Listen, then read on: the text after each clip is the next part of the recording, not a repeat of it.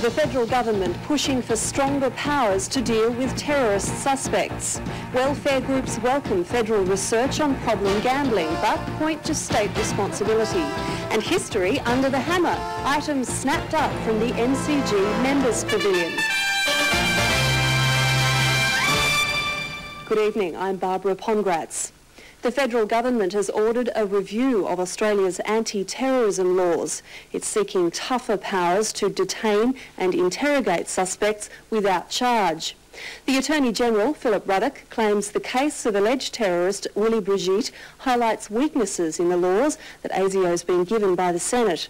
The opposition says tougher powers can't be justified until the existing ones are put to use. It's claimed Willie Brigitte is a frontline fighter for radical Islam, but in his five-month stay in Sydney, sparring at Tony Mundine's Redfern gym was as close as the 35-year-old got to hand-to-hand combat. Newspaper reports claim the dreadlocked Frenchman went there often, earning the nickname Willie the Cowboy. Brigitte is now in his third week of interrogation in Paris after being deported from Australia without ASIO interrogation.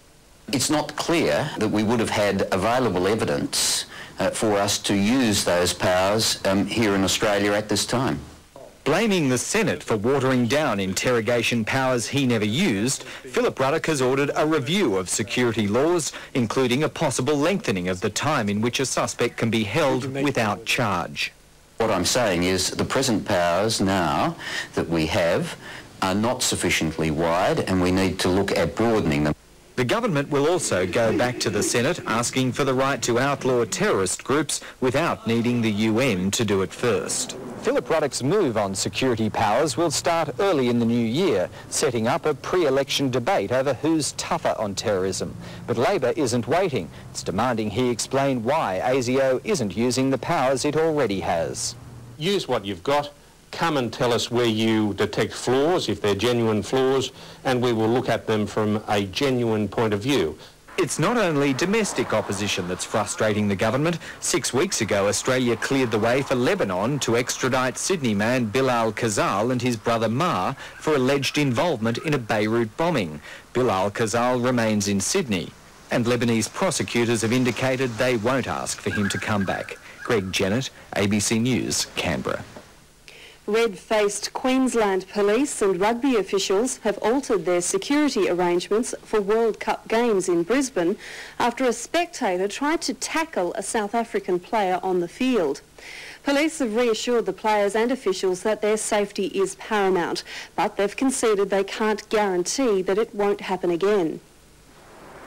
Security was tight at Brisbane's Lang Park this afternoon as fans began arriving for the match between England and Uruguay, but the damage had already been done.